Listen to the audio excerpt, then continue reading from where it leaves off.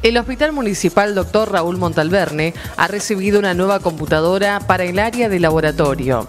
Se informatizan los informes del hospital regional y de este modo se puede enviar todo por internet sin la necesidad de tener que mandar a buscarlos. Vamos al informe.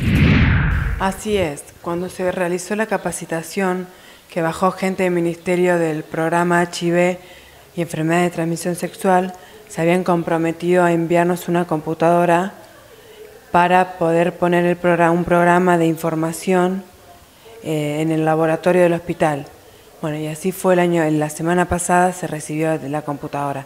Todavía ahora tienen que bajar la gente del ministerio para instalar el programa y enseñarlos a usar a las chicas del laboratorio. Bueno, ya estaría todo en condiciones de, funcionar. Primero es la información que enviaríamos a, ministerio. Por otro lado, ahora se está haciendo informativo, se está informado, se está informatizando los informes del hospital regional. Se va a enviar todo por internet y ya no vamos a tener que ir a buscar más resultados ni traer que se pierden, que no están, que sí están. Una vez que estén se van a mandar por mail.